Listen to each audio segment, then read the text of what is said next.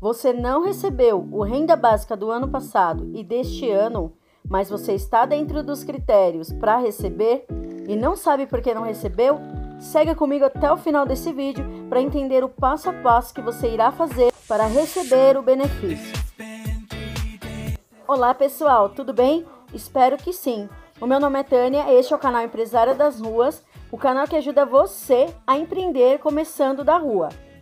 Então, no vídeo de hoje, nós vamos falar é, sobre um assunto que está bem taxativo, o pessoal está perguntando bastante, muita gente com essa dificuldade, muita gente não está sabendo por que não consegue receber o renda básica emergencial. Eu sou uma dessas pessoas, gente. Então, eu estou tentando correr atrás, não só para mim, né, para eu receber o renda básica, mas também para ajudar você aí, para tentar buscar o máximo de informações possível para você tentar receber o seu renda básica. Então, gente, só para ficar bem claro, antes de você falar que não recebeu, que não conseguiu receber, verifica direitinho se você está dentro dos critérios, se você realmente é, pode receber o benefício, se você tem direito do benefício, para não ficar correndo atrás e perdendo seu tempo à toa. Aqui no canal eu tenho outros vídeos falando do renda básica, onde eu explico o que é o benefício, quem pode realmente receber, quem está dentro dos critérios e tem direito. Então acesse aqui, eu vou deixar na descrição esses vídeos. Eu não vou falar tudo de novo aqui nesse vídeo para não ficar muito comprido e ficar repetindo a mesma coisa. Então o foco aqui é tentar resolver o nosso problema, o problema de quem não está conseguindo receber o renda básica. Então vamos focar neste assunto, tá bom?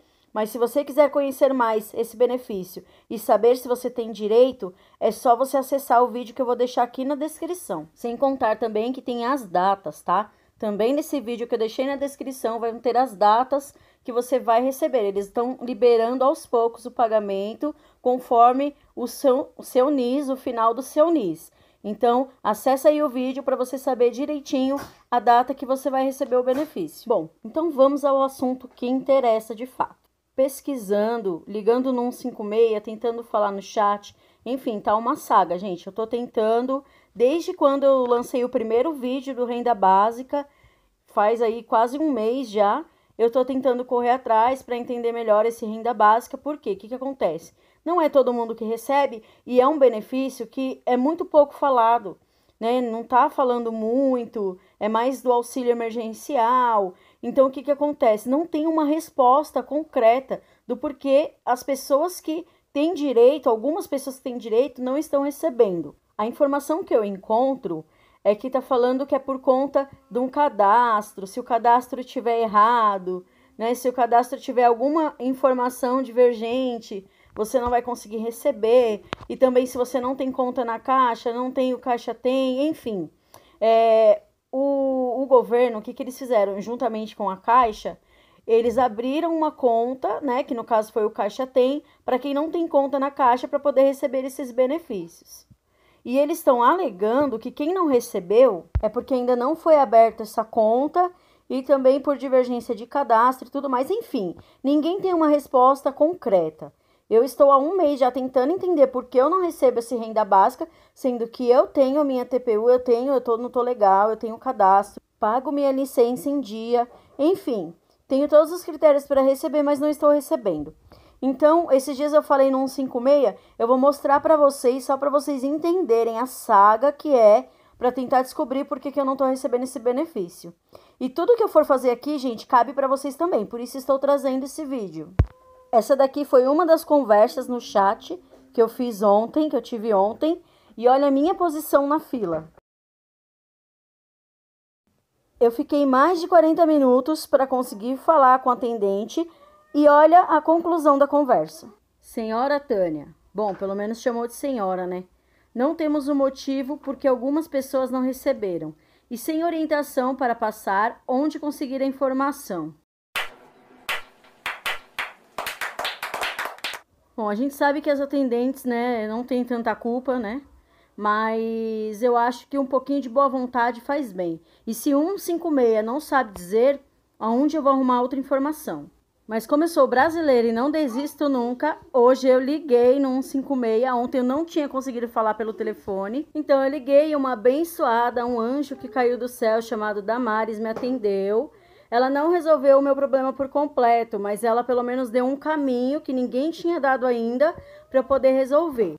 Ela falou para eu ligar novamente no 156, mas somente a partir do dia 5, por conta desses feriados que vai ter, e pedir para falar com a ouvidoria geral do município, abrir um protocolo que daí eles vão averiguar o que aconteceu no cadastro. Então presta atenção no que você vai fazer. Você vai ligar no 156, vai pedir para falar com a ouvidoria geral do município e pedir para abrir um protocolo para averiguar o que aconteceu com o seu cadastro. Só que você só vai ligar depois do dia 5. Eu aproveitei e perguntei para ela também em relação ao pagamento de 2020. Caso eu consiga regularizar o cadastro, né, e receber esse de 2021, se também é possível resgatar o 2020 que eu não recebi. Ela disse que sim, que muita gente está fazendo esse passo a passo, ligando, né, na ouvidoria geral, conseguindo resolver o problema de cadastro e recebendo o valor tanto do ano passado quanto desse ano. Bom, essa já é uma ótima notícia, né, gente? Eu fiquei super feliz Aí agradeci ela, porque ela foi a única que conseguiu me ajudar de fato, né? Me dar uma resposta concreta. E é isso, dia 5 eu vou ligar novamente no 156 e fazer esse passo a passo. Te convido a fazer a mesma coisa, mas lembre-se que é só depois do dia 5, depois dos feriados. Então, quem for conseguindo, se você ligar depois do dia 5 e conseguir, deixa aqui nos comentários pra gente saber se está dando certo, se realmente, de fato, vai funcionar esse passo a passo que a atendente me falou. No dia 5, eu já vou ligar lá para saber. E assim que eu tiver uma resposta, eu gravo o vídeo aqui e posto para vocês, tá bom?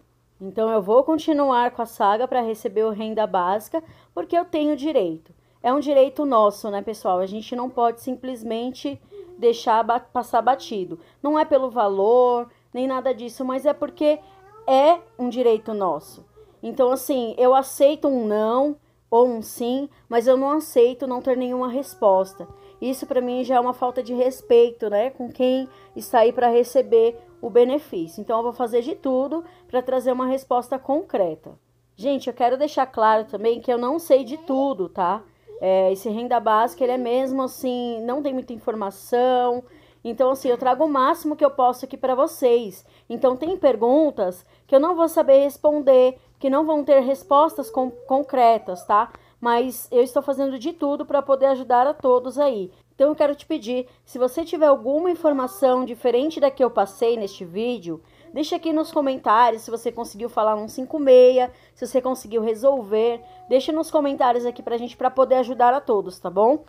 Então, se você gostou desse vídeo, já se inscreva no canal, deixa aí o seu like nesse vídeo, compartilha para mais pessoas que precisam receber esse benefício. E se eu te ajudei de alguma forma, por favor, assista os anúncios do meu vídeo. Isso ajuda muito o meu canal crescer, tá bom? Eu fui monetizada há pouco tempo, ainda não consegui receber do AdSense. Então, assim, eu quero te pedir mesmo que você assista os anúncios, que você compartilhe esse vídeo, se inscreva, enfim, ajuda o nosso canal a crescer para trazer mais informação. Muito obrigada pela sua audiência, pelo seu carinho e até o próximo vídeo. Tchau, tchau!